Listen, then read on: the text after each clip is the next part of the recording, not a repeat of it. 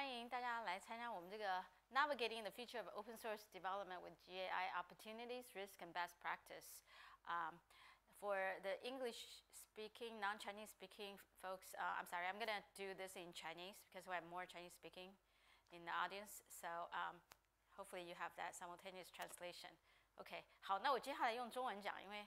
因为我们这个同学这在讲中文的同学比较多。好，那我们今天就是自从 去年十一月那个 Chat GPT 出来以后，大家就是大模型一火，很火在在发展，在美国呢，呃，那个在 Get 呃在 Hugging Face 上面就有多少七十多个模型出来。那国内我也是听说说有一百多家公司都在做这个这个 AI 这种东西，然后就是这个非常火。然后呃 Chat G 尤其是 Chat GPT，很多人都已经在用了。在在北美呢，我是有看听过这样的数据，说一一我是来自硅谷。只要你这家公司有差不多一百个人以上的，大部分都已经有公这个开发者在在用，有的是偷偷的用，有的是 正式的用，用这个用这些工具来帮他们做一些工作，像 ChatGPT 写一些文档。那现在有些很多一些工程师都已经在用那个 ChatGPT，呃，在 Copilot 这这种工具帮他们写代码。那啊，国内不知道怎么样，大家现在已经用。Chat GPT 还有 Midjourney Mid Journey 是写就是画图这种。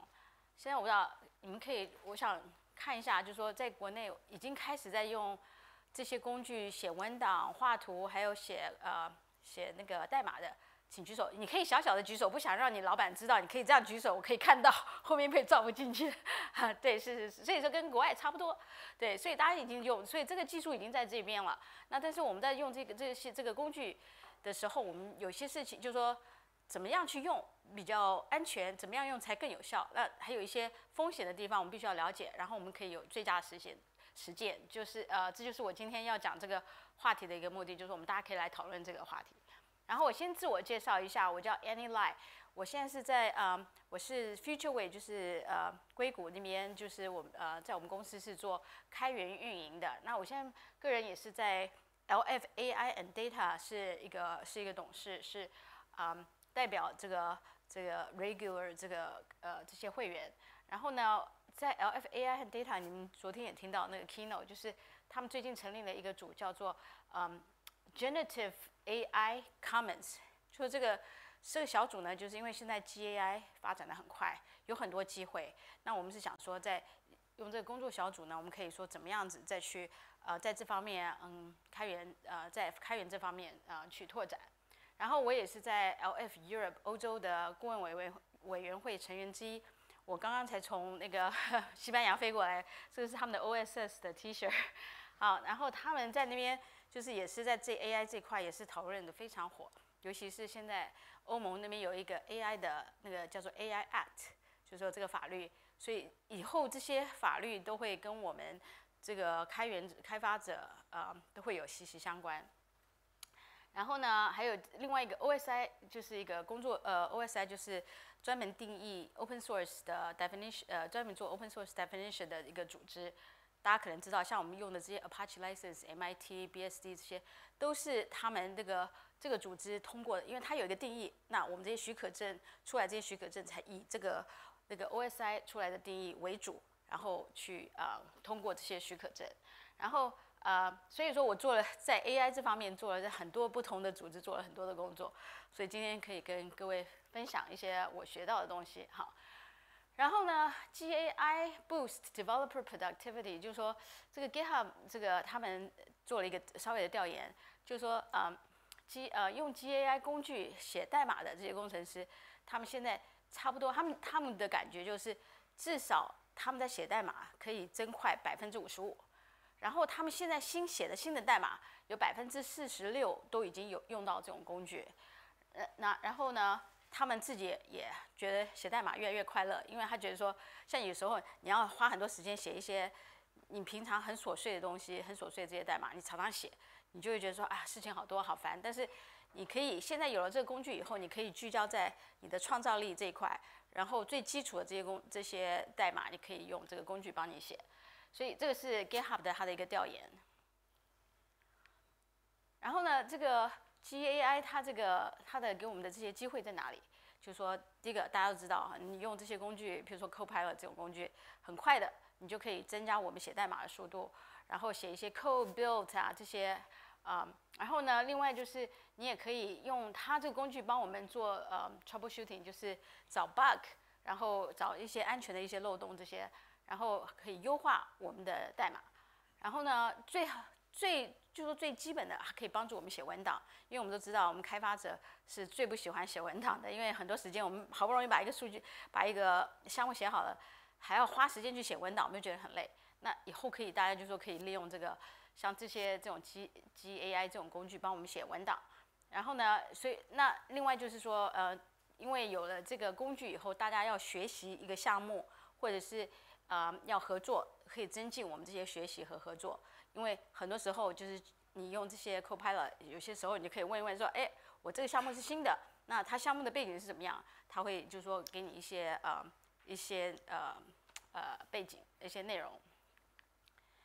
所以对我们开源社区来讲，这个是是相当的一个好呃一个很好的事情。为什么呢？我们我们知道我们做开源项目一个很大的问题就是 sustainability，就是持续性。因为很多大家做开源项目，就是头先很热的项目，大家一起上，很多人都要上，然后有有的是主导的，有的是呃做就是说做其他的一些边缘的一些一些东西。但是这个项目等到做成熟的时候，慢慢慢慢，我们就说很多开源项目都是头先就是开始这样往上爬，做成熟的时候，我慢慢已经大家都已经商用了，然后就是他们叫做 sunsetting 这种 phase stage，就是说它已经是。已经是就是说，大家只是做一些补一些 bug 啊，这些做一些小小的一些 feature 啊，这样。那通常在这第三段的时候，这些很牛的这些开发者，他就觉得没意思，没有什么好创作力，他就想要做别的事情去了，或者有新的领域出来了。那那呃，这个是我们一个开源社区一个很大的问题，因为很多时候项目等到是后面这一段的时候，就人会越来越少。那越来越少的话，我们这个项目就没办法维持下去。那有了这个工具的话呢，我觉得我们有一个好处就是，我们一些让新的人，他可以就是说刚刚从学校毕业出来，或者是刚刚要走进这个圈子的人，他可以用这个工具去学习，更快的学习这个项目。然后，然后他呃，然后就像那种最基本的那些，就是说补丁啊这种工作，他都可以做。然后就是说比较，嗯，就在这个项目这些大牛以及比较有经验的，他就可以去做另外一个项目。所以说这个话就是可以。帮我们解决这个 sustainability 这个持续性的这个一个问题，然后另外也可以增进大家的合作。比如说我们做很多项目，说你说像 Kubernetes 这些项目里面有那么多子项目，那有些子项目都是相关的。那可是你可能你懂了这个项目，你不懂那你不懂那个项目。那有了这个工具以后，你要去学习新的项目呢，会更容易。那这些都是好事，可是不是没呃，但是还是有一些风险的。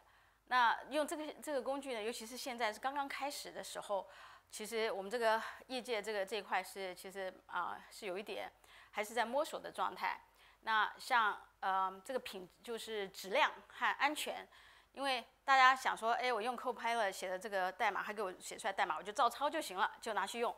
可是这个是一件非常危险的事情，因为他们这个训练这个呃 Copilot 他们的训练的过程中，还是爬这些 GitHub 这些代码。那不见得所有 GitHub 的代码都是好质量的代码，所以有一些低质量代码也被训练进去。所以你拿来的你 Copilot 它这个工具 generate 出来的代码，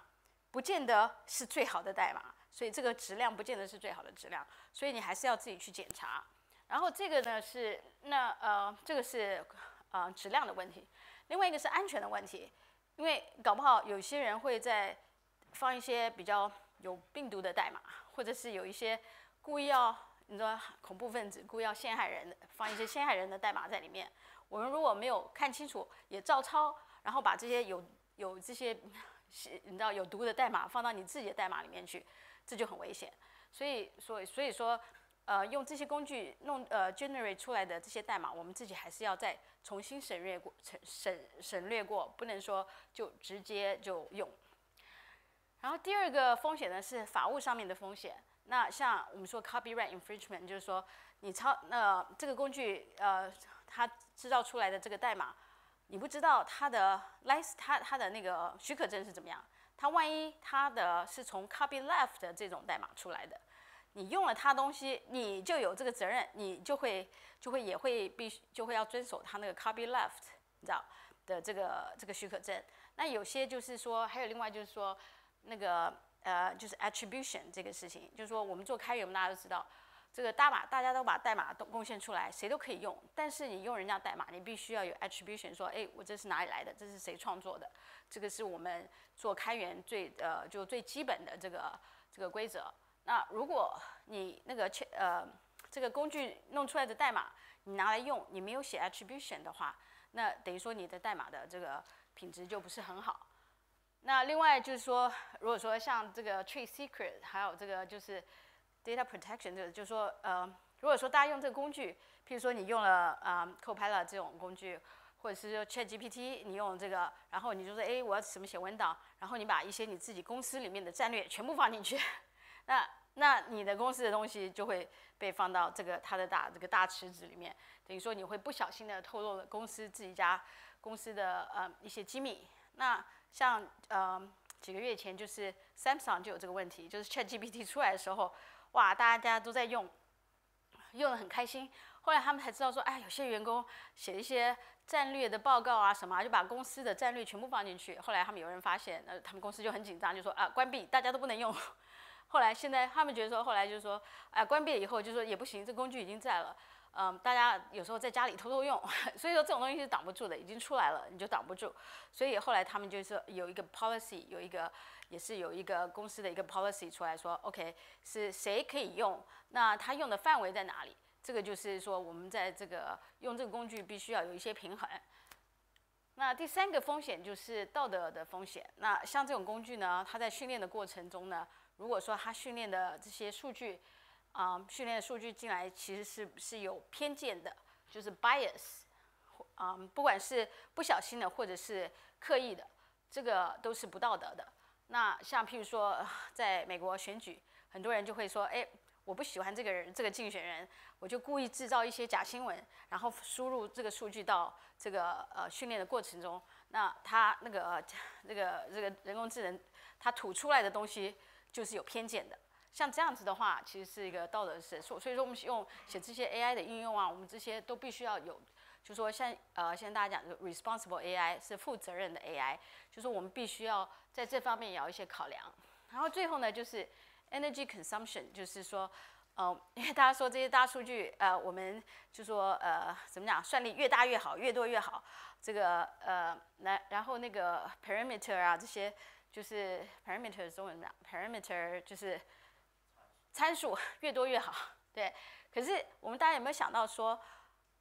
这些都是会就是用我们的能源用的相当多，所以我们可能说在这方面也要想想，我们要做一个负责任的地球人，对不对？如果说用了这些啊资源用的太多的话，呃，会不会对我们人类有影响？所以我们有些时候可以在软件上面做一些啊做呃做一些 innovation，做一些创新，可以让就是说让让我们的这些算力用小一点，但是可以达到同样的目目目标。那第四块呢，就是呃，关于人类这这些的一个风险，就是我们如果大家说大家用了这个工具以后，就是很习惯的用，你说写文章自己也懒得想，就说哎呀，我老板叫我写个报告，你教我怎么写，你就写吧，我就照抄，或者是哎，我要写一个我要写一个代码，呃，我要这样写，你就教我写吧，我我就照抄，这样的话，我们的人类会不会就在创作上面会越来越越来越退步？那像我们说以前，我记得小时候就会。数学就很会算，人家说，哎，三十八乘以二十七乘以六十五，怎么样？我头上用用头脑可以算出来。现在有了计算机了以后，现在就不会算那些了，对不对？那我想，我们这个工具，如果说我们大家就是太依赖这个工具的话，而不用自己的头脑去用自己的创作力的话，会不会对我们人类来讲，就是说会有一个负面的影响？所以我们也要想一想。那另外呢，就是呃，因为很多人就是很多，刚才给大家看的数据说。哎呀，这个你用了这个工具以后，你写代码的速度会越来越快。然后你的老板会不会觉得说，哇，我这个团队有十个人，那我既既然有这个工具，我就把这团队砍成变成两个人，我这样也可以。如果老板都有这样的想法的话，其实会对我们整个业界来讲也是一个负面的影响。所以这些都是一些风险，我们必须要就说也要关注到。那接下来呢，我想跟大家分享的就是这个 McKinsey 这一家这家公司分析这是分析师，他做了一些调研，我想跟大家分享一下，就是关于就说用这个工具写代码的一些呃信息。就是啊，第一个就是说它这个还有 GAI can increase developer speed but less for complex task。它意思就是说，这个紫色就是没有用工具的，那蓝色天蓝色是。有用工具的，那他就说，呃，左边的这个就是 task complete，就是时间，就说没有用工具的，写一个写一个项目和有用这个工具写一个项目，你可以看得出来，写文档的时候，那你就是可以呃增进百分差不多百分之五十，就说减低百分之五十的时间。那那那写代码的话，差不多是你可以呃，就是说减低百分之三十五四十五的时间。那写就是说 code refactoring 就是啊，就是优化，你可以减低百分之二十到百分之三十的时间。那比较复杂的这些项目的话，就是可以差不多减低百分之十的时间。那它这个最主要就是跟大家讲，就是说你用这个工，你用这些 GAI 的工具的话，你写文档，你可以让你的写文档的时间改进非常多，百分之五十。那你如果写代码的话，差不多可以改改进到。百分之三十五减低这个时间，然后另外就是优化，因为优化你必须要想一想，所以所以在这样要你需要头脑想一想的这这种项目这种领域的时候，那你就是比较就是还是必须要呃我们人自己去跟着这个工具一起合作，所以你的进步可以进步到百分之二十到三十的时间。那最复杂的就是说大部分还是要我用我自己的头脑去想。那这个工具可以帮我，但是还是需要我自己还是要花很大的时间去做一些嗯分析。那这个是百分之十。那第二个呢，就是说呃，就是他说，G.I. provides the most improvement to complex task completion。它这个就是左边这个就是说 task completion with a lot of time，就是说，譬如说我有一个我一个项目，我要他们嗯在十个钟头就做出来。那十个钟头这个项目做出来，就是说比较比较不复杂的，with a lot of time，就是比较不复杂的这个最不复杂的这个项目的话，就是你也可以写这个工有了这个工这个紫色的是没有工具，天蓝色是有工具的，紫色的就是说，哎，在这个十十个钟头里面，我可以把它完成是百分之九十二的比率，那啊有这个工具可以完成是百分之九十四。那比较中间复杂性的是紫色，就是没有工具是百分之七十三，那有工具是百分之八十三。那最复杂是百分之四十二，就没有工具，我可以在只有百分之四十二的比例，我可以把它在十呃，比如说十个钟头完成。那这个天蓝色就呃，就是说有工具是百分之五十。那这那这个最主要的就是说，你很就是说很简单的平常的这种项目的话。那呃，就是说他给你的，就是说帮助不是这么大，只是说让你做的很快，但是你也可以完成。没有这工具，你也可以完成；有工具，你可以完成，你完成的更快，就这样。那但是很复杂的项目的话，就是说他对你的帮助就不就比较没有这么大，也是有帮助，但是呃呃，他对你的帮助是更大，因为譬如说你，因为你可以花时间在分析方面上面。而不需要就是花很多时间在做最基础的工作，所以说这个等于这个图呢，最主要就是说价值从价值来讲，就是说呃，它可以帮你增进速度，简单的项目可以帮进，就是说让你的速度增快，但是呢，在复杂的项目里面，它可以呃，就是说让你可以把你的精力、你的时间在分析上面，而是这种简单的啊这些东西，就是呃呃，就就它的价值就比较大。好的，那所以说我们现在总结一下，就是说你用这个工具是最好是在怎么样的情况啊情况用是最好。第一个就是就是平常就是很简单的，很就是说常常用的这种这种它叫 manual repetitive 这种工作，这种情况下，或者是说你有一个项目已经写好了，你要做一些啊完善，就是 update 这样子的项目，因为就是说它这个框架这个基础已经打得很好了，那它也学习了。然后你要做一些稍微的一些改进，这边改进那边改进，你这个工具也是很合适的。然后呢，另外就是呃你要做一个全新的项目，就说你写文章一样，你开始要写最头痛就是你不知道怎么开始写。我想大家都有这个经验，你要写一个文章，就是头先就是啊，怎么开怎么开始？但是你头脑一开始在转了，你就写得很快了。那这个工具呢，就可以这样，就说帮你起步，开起步，帮你给一个框架出来，然后你就可以很快的去呃往前走。那最后呢，就是说，譬如说有一个新兴的项目，完全没你一点，就是说完全都没有接触过，你第一次要做这个项目的时候。你就可以，他可以给你很多不同的背景介绍，或是给你给你给给你很多建议，然后可以让你很比较快的进入情况。那呃，但是呢，有些项目呢，其实是这个工具是不能代替人类的。那就像说很复杂的，像我刚才讲很复杂的项目，或者说有些项目是需要你一些，就说一些背景知识，像商业背景、组织背景。譬如说，我要譬如说要写一个啊啊报销公司报销的一个应用。比如说我报销，哎，我这个阶级的人，我酒店报销是这样报销，我差呃我这个坐车报销是这样报销，但是这个等级的人这样报销。但是有时候我要带客户，哎，也这个不怎么报销。那有些是领导阶级的，呃，这个报销又是怎么报销？所以有些时候其实是你必须要有一些你公司的组织的一些。观念，你才能够去写这个。那这个这个工具必须要你，你必须要等于说做是你你是头脑，然后这个工具是你的一个小帮手。我可我可以举个例子，就是 最近我买了一个房子，一个很旧的房子。那啊，然后呢，我就想说，哎，我要装修这房子，我要这边呃这盖个小房间，这边这是真实的故事。然后楼上我要有一个天窗，要有一些设计，但是我我要找工人的话呢，工人可以帮我做，但是 工人不会设计，对，就简单的工作，我说哎漆墙壁工人可以帮我做，这个地上铺地毯可工人可以帮我做，但是你要增你要譬如说增加一个房间，要你要把这个要弄一个搭个阳台，或者是你的你要一个很大的窗户，你必须要看看这个这个设计的是不是很安全。你这个就是要一个建筑师，呃，建筑师来设计。所以说，我说我们用这个工具呢，就是我们可以把这工具当成是这种工人，就是最基础的东西可以让他做。但是最主要整体的设计还是必须我们这些开发者去想，去怎么设计。然后这个是我的那个就一个例子啊。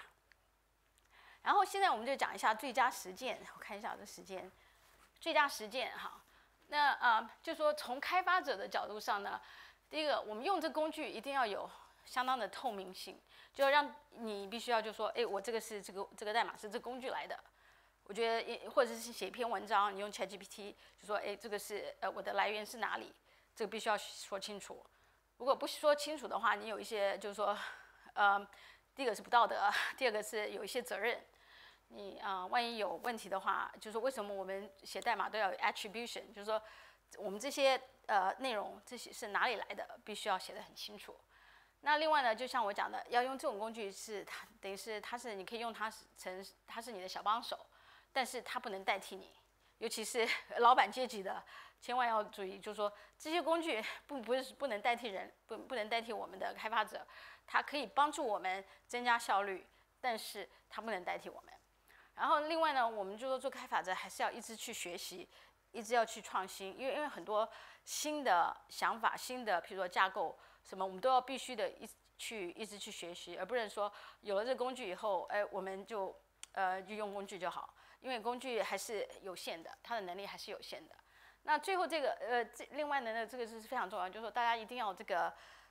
嗯合同，就是说你用这个工具的平台，它的合同你们要读清楚。因为你万一用了它的这个上了它的平台，如果有限制的话，你将来会影响到你的工具，尤其是初创公司。你如果譬如说你用了拉玛 这个模型，或者是用 Falcon 这些，它的呃它的许可证里面其实是有很多坑的。那譬如说大家没有读清楚的话，就用了它的这个平台，用了它的平台以后，你以后要商用可能会有一些问题。它可能放了就说，哎哎大家都可以用啊，我这都是开源的，你们大家可以用。可是万一你要去商用，然后你这个写的你写的这个应用写的非常好，就一下子几百万人都要用，那你他那个那你那个平台的公司就可能来告你说，哎，你我这个你没有读到我们这个合同里面写的，说你只能用我的技术，用我这个平台做呃普通开发。如果说是大的商用的话，你就要开始要付我钱。所以在合同这个大家要先读清楚，要了解一下。那啊，另外呢，我们都要做一个负责任的 IT，呃，I AI，就说 responsible AI，就说我们做 AI，尤其是很多人就说 AI 风险很大，尤其是如果说没有好好管理的话，其实是对我们人类或者是对我们社会都是有害处的。所以我们在用这个工具。的时候，用这个技术的时候，必须要做一些，就是说一些啊负责任的一些思考。就是第一个，一定要有透明度；第二个，你能够解释，就是说你用这个工具，你做出来的结果，你一定要可以解释。你如果不能解释的话，就是有问题。第三个就是要精确，然后安全，还有人类可以控制的。我可以跟你说个小故事，就是前几年那个 Facebook 它没有变 Meta 以前。他就做这个实验，就是两个 AI 机器，两个他就说让他们两个辩论，这个 AI A AI B 两个就变变变，可是他们就是他们就观察他们怎么变啊，变到最后，比如说 过了一阵子以后，他们开始用一个很奇怪的语言，我们人类不能听不懂的语言，开始两个在讲话，然后那个 Facebook 就很快的就把它关掉，因为他觉得说那已经不可控了，不知道为什么他们这个已经演化到一个程度，两个 AI 已经开始在。一直对话对话对到他们自己发明一种语言，像这样的情况其实是非常危险的，所以我们就说一定要是人类可控的，我们做的这个 AI，然后呃能够有 accountability，就是啊中文怎么讲 accountability？考试考你们，就是你可以追溯谁做出来的，这个来源是哪里可以追溯的，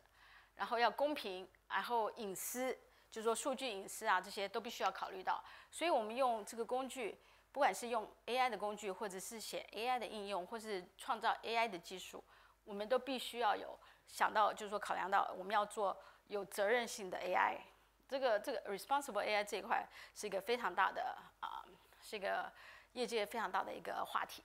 那从公司的角度呢，因为像这个 AI 这个东西已经出来了，英语有一句话就是说 “genie out of the bottle”，就是说你已经出来了，已经不能再塞回去了，大家都在用。像当年那个云出来的时候，有些公司说，有些很多部门都已经开始啊用亚马逊啊，或者是用这个，都已经在用。那如果公司太慢的话，你的公司的一些 policy 还没有出来的话，大家就是乱用，乱用的话就会有一些，有时候会有一些法律的风险。所以这个我们公司呢，就是在公司呢，从公司的角度上，公司必须要早一点去把这个 policy 做出来，因为我们这个。另外就是我们这个 AI 技术变化太快了，所以这个这个 policy 的文档呢，就是啊，一定要是常常更改更新的。那像一些 copyright，还有一些 IP 这方面，还有数据保护、安全啊，还有就是说很多国家像欧盟啊，他们都说 A AI 有 AI 的法律，在国内也有一些 AI 的什么管理法，在美国有呃北美有很多法律，就说呃以后 AI 的发展跟政府。还有就是说，呃，政府之间的关系会非常大。那从公司的角度上，公司必须要，就说长，就说要有一个公司的一些那个 policy，啊，然后大家员工都可以遵守。因为这个大家都是要会，一定要会用这个工具的。那如果就说那公司呢，也不能说哎不能用，就像 Samsung 那个例子，你不能说全部关掉，不让大家用，让大家话，其他你的竞争对手在用，你自己就落后了。所以说你要大家就是呃，就是说要思考说怎么样用是最安全，然后一个 policy 出来以后，大家就依照这个规则去用。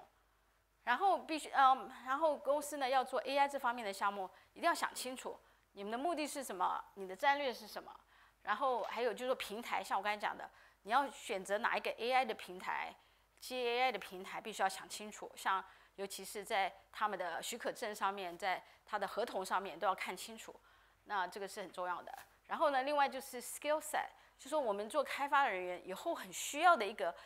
一个一个 skill 一个能力，就是他们叫做 prompt engineering 提示的这种啊 engineering，就说你要怎么会去提示你的你的用的 GAI，你的输出才是更精确、更你自己想要得到的。这个 prompt engineering 以后大家可以，我可以保证以后一定会有很多培训在这方面的培训。就说大家在这方面能够增加自己的能力，那可以，你可以更有效的去用这个工工具，因为有些人，比如说两个人同都同时用 ChatGPT 去写一个文章，那一个一个人还不知道怎么去提示，所以你他得到的输出可能会跟一个会知道怎么提示的人就会有一些呃距离。你会怎么提示，你要得到的 output 可能就是你最就是说最精确的。所以这个 prompt engineering 是一个非常以后一个大的学问。那另外就是 AI 以后公司呢必须要有一些 AI 这方面的呃培训，然后 OSPO 其实是一个很好的一个组织，可以就是说在这方面啊，就是说为为公司就是说做一个计划啊这样子。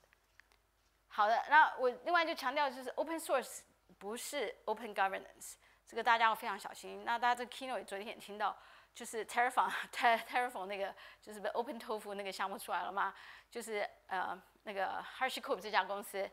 他就又头先说，哎，都开源，大家都可以来用，然后大家都用的很很好，就是，然后突然他觉得，哎，很多人在用了，我他就想贪心，想赚钱，就说，哎，我把这个许可证改掉。所以像这样子，他他这样这家公，就是因为他这个开源项目是一家公司在管理的，所以我们就是说，他这个他的项目是 open source，不是 open governance。open governance 就是开放的治理。那为什么我们项目要捐到 Linux Foundation？像这样第三方的，就是说，它是一个 open 的一个一个平台。那这样的话，就是对大家都有保障。那 Linux Foundation 像我刚才讲的，它那个 LFAI and Data，它下最近就是发起了这个叫做啊 Generative AI Commons，就是一个工作组，就是专门就是就是为了这个 GAI 生成 AI 这方面。的发展做的一个平台，最主要就是说，他希望说，他说 is dedicated to fostering the democratization。他就说，AI 我们要把 AI 弄成就是普及化，大家都可以用，不是说只有很多算力的厂家可以用，我们每一个人都可以用，这是我们的一个使命。然后呢，帮助就是说在 AI 这方面去发展更有效率的、更安全的啊，更有信呃呃 reliable 更有可靠的可，然后更有道德的。做这个 GAI 这方面的发展，然后大家一起去，就是中立的这种治理方式，然后大家一起去 share，一起去创作，一起去嗯互相学习，然后互相分享，这个是我们的一个使命。所以这个工作组大家都可以参加，它有现在有四部呃有五部分，第一个就是架构，然后另外是模型，然后一个是 data 数据，然后是大家是分享，然后最后就是。Open 就是开放，我们的开放定义是什么？就是你说开放式的 AI，它到底是什么开放？是代码开放、数据开放、参数开放、举重开放这些什么怎说开放的程度是怎么样？我们这个开放这个问，其实是一个很大的一个现在议题，大家在业界都在讨论。所以现在有这个五五个工作组，那我是鼓励大家都去参加，你不见得是一定要是 LFAI 的会员，每一个人都可以参加。然后你可以到这个地方去找什么时候开会啊？什么时候啊？就说大家如果说去学习学习也可以。那另外呢，OSI 呢这边它也是这样，就是说呃，它也是正在做这个 Open AI 的定义，因为我们我们像呃 Open Source 的定义已经有二十五年了，因为 Open Source 已经有四十几四十几年，然后 OSI 这个组织叫做 Open Source Initiative。它在二十五年前做了一个 open source 的这个定义，所以说我们这些许可证都是以它的定义为主。那现在我们已经到了 AI 的时代，那 open AI 呢，它不只是有代码，它还有数据，像我刚才讲参数、举重这些。那我们怎么样才叫做是真正的 open AI，就是说开放式的 AI？那它现在这个就说这个工作组我也在里面，我们正在做这个定义，就是说。这在做开源的这些老大，这些这些就是说元呃元老们，大家都一起聚集在一起，就说我们要怎么样去定义叫什么才叫做 Open AI？那现在这个定义呢，已经起稿已经起好了，现在是正在是一个 review 的状态。那这边请大家到可以到这个链接去，叫 Deep Dive Open Source Initiative，就是说大家都可以欢迎一起去 review，然后可以提意见。那前一阵他们头先是只有就是。北美的人在 review，然后欧洲是上周我们在 review，然后这周是我把它带到国内，因为我觉得说，哎，怎么都没有我们中国的声音，所以我把它带到国内。所以我们希望大家各个同学可以到这个网站网网站上，他从这周开始就有一些 webinar，然后他就说，哎，我这个草稿是这样写的，因为因为他这个定义不只是说技术而已，还有道德，还有一些安全这些考量。那大家可以去参加这个 webinar，可以听一听他这个定义为什么要做这样的定义。所以现在是还是一个草稿的状态，那可能会在今年十一月的时候会有一个出版，然后可能大家还是听听大家的意见，然后可能明年会有一个正式的一个定义会出来。所以这个对我们业界来讲是一件大事。所以大家如果就说希望鼓励大家都去这个链接去听一听，然后可以给你们你们的一些意见。好的，我想我时间差不多到了，那有没有我们可以拿一个问，我可以一个问题，是只有一分钟差不多吗？我可以，大家有没有什么问题？抱歉，有时候中文讲的不太清楚，请大家原谅。